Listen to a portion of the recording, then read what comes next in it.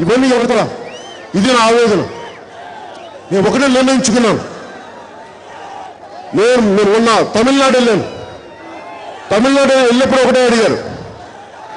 ఒక నటుడిగా మీరు రాజకీయాలకు రావడం మీరు నిలబడగలరు అంటే ఒకటే చెప్పాను ఆయనకి. పోతే నా తల ఎగిరిపోయి కానీ నేను అయితే మానవ వెనక్కి తిప్పను కష్టంగా ఉంటే తెలుసు. మాటలు పడాలి. దెబ్బ తినాలి. ఒక ఓటుకి తిరిగిపోయే వ్యక్తిని కాదు. ఒక చిన్నపాటి ఒత్తిడికి వెనక్కి వెళ్ళిపోయే వ్యక్తి కాదు. అవసరమైతే కే- టంగుటూరి కేసులో చాటి తీసి కాల్చి తప్ప వెనక్కి మనమైతే వెనక్కి తిప్పాం మనం. ఎందుకు ఇది? ఇష్టమైన రాజకీయ వ్యవస్థ. అవినీతిమైన రాజకీయ వ్యవస్థ. ఎక్కడో మారాలి దీన్ని. నా తరం దెబ్బతిన్నాం మతం దెబ్బతిన్నాం గతకాలపు రాజకీయ నాయకులు చేసిన తప్పుల వల్ల నేను ఒకటి అడుగుతాను. ఈ తరం నా ఆడపడుచులు నా అక్క చెల్లెళ్ళు వారు దెబ్బతినకూడదు ఎవరో ఒకటి ఛాలెంజ్ చేయాలి. మన దేశం కోసం మన రాష్ట్రం కోసం. నేను అనుకున్నాను.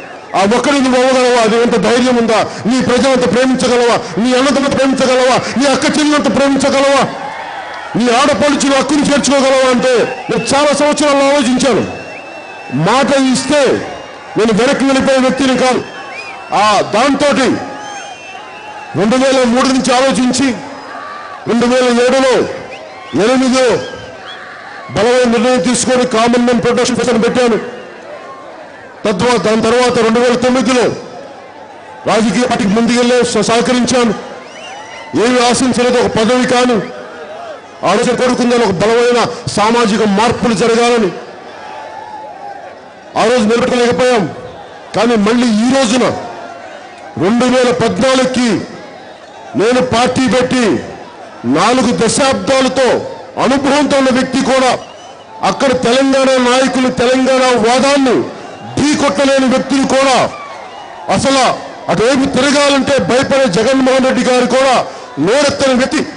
వీళ్ళందరినీ కాదని చెప్పి చాలా ధైర్యంగా మాట్లాడడం ఆంధ్రుల ఆత్మగౌరవాన్ని కాపాడారు రోజు. ఎందుకు?